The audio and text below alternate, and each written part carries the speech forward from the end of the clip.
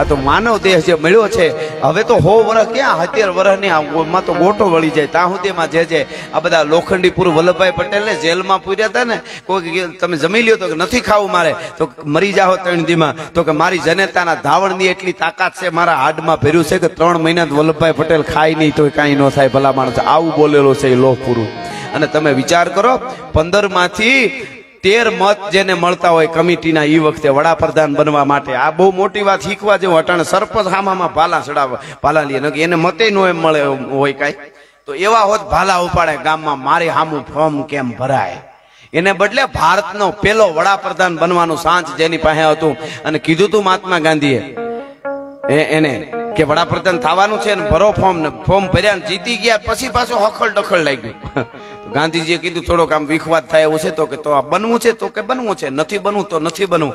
આવો ત્યાગ કરી બતાવે કોઈ ખબર પડે ભલા માણસ આ તો ઈ, એટલે લોહ પુરુષ કહેવાય. બસો અને બ્યાસી, બસો બ્યાસી મીટરની છે ને મૂર્તિ. બસો બ્યાસી. મને પાછું દેહી માણસ એટલે પૂરી ખબર ન હોય. એકસો બ્યાસી. એકસો બ્યાસી મીટરની જે મૂર્તિ છે ને વલ્લભભાઈ પટેલનું જે પૂતળું ટેસ્યું એ તો એની પ્રતિમા છે. પણ આવડો મોટો અખંડ ભારત એક છે ને એ વલ્લભભાઈની પ્રતિભા છે ભલા માણસ. એ બહુ મોટી વાત છે. એ એની પ્રતિભા છે. અને એટલે એને યાદ કરવા પડે. દાદા, સોમનાથની પ્રતિષ્ઠાની વાત હોય તો ભલે મંદિર બનાવવાની વાત હોય તો દરિયાના ખારા પાણીમાંથી આમ અંજળી ભરીને કીધું હતું કે વિધર્મીઓ ગમે એટલા ધર્મને તોડવાની કોશિશ કરે. પણ કદાચ એને મેં તેવું સાંભળ્યું કે અમુક વડીલોએ નાય પાડી હતી કે આપણે માટે બધાય હરખા ત્યાં ન જવાય ના ન કરાય. એણે કીધું હતું હું પેલો સનાતની હિન્દુ છું, મારું કામ પેલું દાદા સોમનાથની પ્રતિષ્ઠા કરાવવાનું છે. અને પ્રતિજ્ઞા કરી હતી દાદા સોમનાથની ધજાને પૂર્ણ રીતે ફરકાવી અને મંદિર બનાવીને માથે ધજા ન ફરકાવતો હું સરદાર વલ્લભભાઈ પટેલ નહીં આ મારી પ્રતિજ્ઞા છે. આ બહુ મોટી વાત છે, બહુ મોટી વાત છે. અને એટલે એને એના ટેચ્યુ ઊભા થાય, એની પૂજાઓ થાય, આ મહાપુરુષોનું ઋણ આપણે કોઈ દી નહીં ચૂકવી શકીએ. પણ કહેવાનો અર્થ, એની જન્મ આપવાવાળી એ પણ કોકમાં છે એ પણ કોક જનેચા એટલે દીકરીઓની બહુ જવાબદારી હોય છે ભારત વર્ષમાં. અને જેને કરવું હોય ને લાગી જાય ને, એને થોડાકમાં લાગી જાય, નકર આખી જિંદગી રાયડું નાખો તો ભેળું ન થાય. એક જણો સત્સંગમાં જતો હતો એટલે એને એની હારે એનો દસ બાર વર્ષનો છોકરો જતો હતો. પાછો વાળવા માંડ્યો. એ કે સત્સંગમાં તારે ના આવે પાછો વળે. છોકરો પાછો નતો વળતો, ઠપાટ મારી. છોકરો રોવા માંડ્યો કોઈ બાજુ વાળાએ કીધું તમે શું કામ મારો છો? કે સત્સંગમાં હારે આવે. તો કે એ તો સારી વાત કહેવાય. સત્સંગમાં જાય છે ને, ક્યાં ખરાબ કામ કરવા જાય? તો સારું શીખે, બાળક સંસ્કાર મળે. શું કામે સંસ્કારથી દૂર રાખવા માંગો છો તમે? એ તો સારી વાત છે. સત્સંગમાં આવે છે. એને શું કામ મારો? તો કે બાળક છે, એને હારો, એને એને હારા સંસ્કાર મળે. ઈ કે એટલે તો ના પાડું છું કે કાં કે એને લાગી જાય તરત. હે? કે કોરી પાટી કહેવાય બાળક સત્સંગમાં આવે તો એને તરત હાચો હાથ લાગી જાય. એ કે તમને એ કે આપણને ફેર ન પડે. ચાલી વર્ષથી ગમે એ મંદિર મૂક્યું નથી, ગમે એ સંસ્થા મૂકી નથી, ગમે એ કે સત્સંગ મૂક્યો નથી. પાડા ઉપર પાણી ઢોળો ફેર પડે કે આપણને પડે. પાડો બેઠો હોય ઉનાળામાં પાણી ડબ્બો ભરીને માથ નાખો તો આંખે ન ઉગાડે અને ગાયને આમ કરીને છાંટા ઉડાડો તો આખું શરીર ધ્રુજાવે. એમ, એને જેને લાગતું હોય એને લાગે. શાક માર્કેટના રણજીતમાં શાક માર્કેટના ઢોરને સોમા હારે કાંઈ લેવા દેવા જ ન હોય. એને તો હળેલ દૂધિયા નાખે, રીંગણા નાખે, ટમેટા કઈ નાખે. સોમાહાની વાટ તો કોણ જોવે? જેને વગડામાં સરતા હોય ને જે ભેળા રહેતા હોય, રેઢિયાર નો હોય. એને સોમાહાની ખબર હોય કે વરસાદ પડે, હરિયા ડુંગરા થાય. એની મજા હોય. બાકી તો નીકળી નાથ મોરડા કાઢીને નીકળી પડ્યા છે, જેને ઘાટ ઘડવા છે ને, જેના એ એને જગતનો ચોકમાં કિંમત છે. અને એ ઘાટ જ્યારે સંસ્કારી પરિવાર મળે છે ત્યારે થાય છે. આવા આપણે ત્યાં લક્ષ્મીના ઘણા નામ છે. પણ એક બે ચાર નામની મને ખબર છે. પેલી લક્ષ્મી છે ને, એને શુભ મહાલક્ષ્મી કહેવાય. ચંડમુંડને મારવા માટે આવી અને પછી ચામુંડાનું રૂપ લઈને પછી એને કમલાક્ષમી થઈને બેહી ગઈ. પછી ક્યાંય આવતી નથી, જાતી નથી. એ પહેલી લક્ષ્મી. બીજા પ્રકારની લક્ષ્મી છે એને સંચળા કહેવાય. સંચળા, એને બીલીની સવારી છે. બિલ્લીની સવારી છે. એ રાતે ઈ બિલી ધીમે બિલી જેમ ધીરે પગલે આવે ને ધીરે પગલે જાય. આપણે ઘણી વાર નથી કહેતા, અમદાવાદની બજારમાં આટો માર્યો, પચાસ હજાર કેમ વપરાઈ ગયા, ખબર ન પડી. એ બિલી પગે આવે ને બિલી ત્રીજા પ્રકારની ચપલા છે, અને કુવડની સવારી છે. કુવડને રાત ગમે. એટલે આ લક્ષ્મી રાતે આવે અને રાતે જાય, પછી બારમાં જાય ને બીજે જાય ને ત્રીજે જાય જ્યાં જાતી હોય ત્યાં જાય. એ રાતે આવે ને રાતે જાય. અને ચોથા પ્રકારની લક્ષ્મી છે ને, એને શુભ લક્ષ્મી કહેવાય. એને હાથીની સવારી છે. આવે તો ધીરે ધીરે ધીરે ધીરે આવે અને જાય તો ધીરે ધીરે જાય. પણ હાથી ઉપર બેહી આખી દુનિયા પાળે એમ જાય કે આ પરિવાર છે, ધરમસિંહ બાપાનો પરિવાર આટલા સંસ્થામાં આપે છે, અહીંયા હોસ્પિટલમાં આપે છે, અહીંયા શિક્ષણમાં આપે છે, અહીંયા આવા કાર્યક્રમ કરે છે, મિત્ર સર્કલને આટલા હાચવે છે. એ હાથી ઉપર બેહીને આવે અને હાથી ઉપર બેહીને જાય. એને શુભ લક્ષ્મી કહેવાય, એમ શુભ લક્ષ્મી મળી હોય તો સારા કાર્યો થઈ શકે. એવા સારા કાર્યો આ પરિવાર કાયમ કરતા રહી અને સંસ્કારનું સિં- સંસ્કાર બહુ છે. સંસ્કારનો કેટલો ફેર છે, એનો ગીરનો દાખલો આપું છું હમણાં. ઘણા પ્રોગ્રામમાં કહું છું. જો, જંગલ આપણા વિશ્વ આખામાં છે. ઘણાય જંગલ હશે. આફ્રિકામાં અમે ગયા હતા અને અમારે એરપોર્ટે આવવું હતું. તમે હતા ને તેથી તો આગળ પાછળ આપણે પોલીસની ગાડીઓ રાખવી પડી હતી. રણજીતમાં ખબર? શું કામે જંગલીઓ લૂંટી લી? બોલો.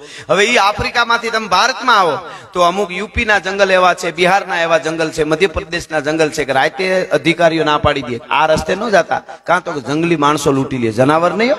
જંગલી માણસોની બીક અને ત્યાંથી આવો ગીર આપણા ગુજરાતમાં. આહવાના જંગલમાં અમુક રસ્તા રાતે બંધ થઈ જાય, જોઈ લેજો. કાં તો કે લૂંટી લે, ન જવાય. હવે રાતે આ જંગલમાં ન જવાય કોઈક લૂંટી લે. બોલો માણસની બીક.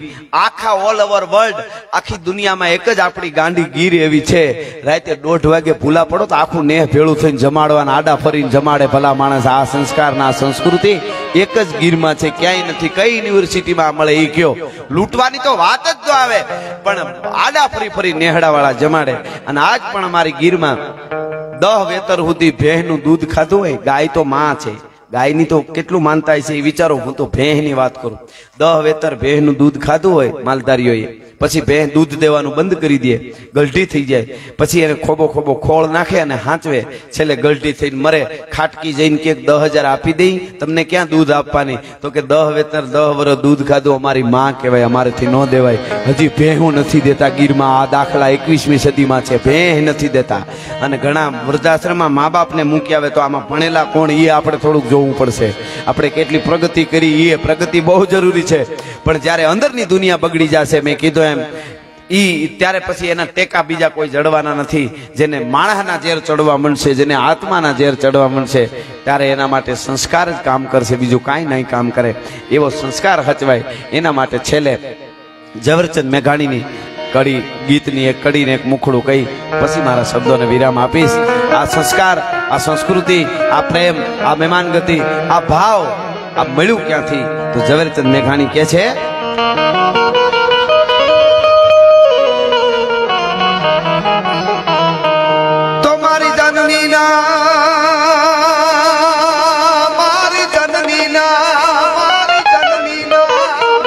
હે મારી જનની ના હવે જનની ના હૈયામાં પોટંકા પોટંકા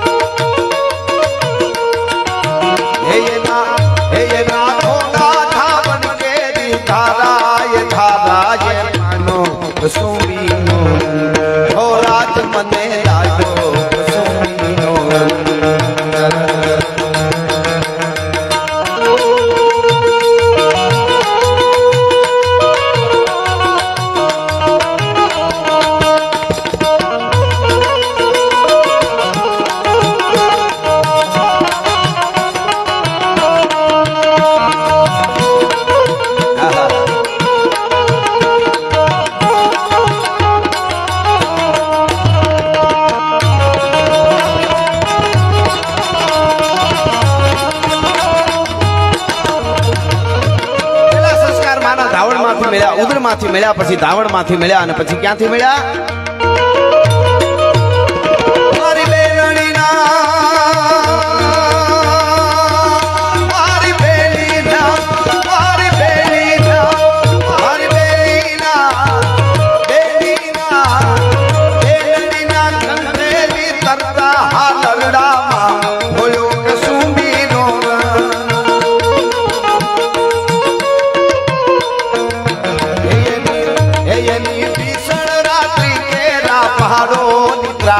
એ જોયો કસુંબીનો. હો રાજ મને લાગ્યો કસુંબીનો.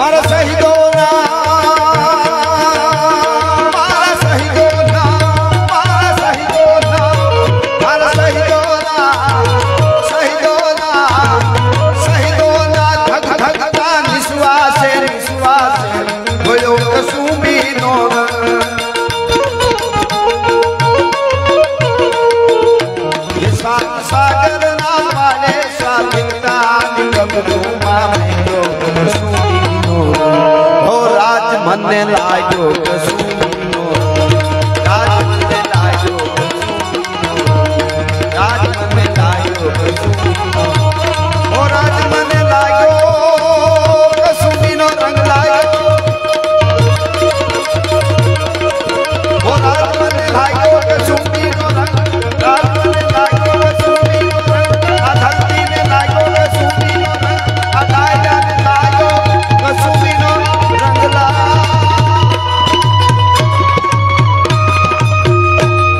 સત સનાતન ધર્મ કી ભારત માત કી નમ પાર્વતી પતિ હર હર મહાદેવ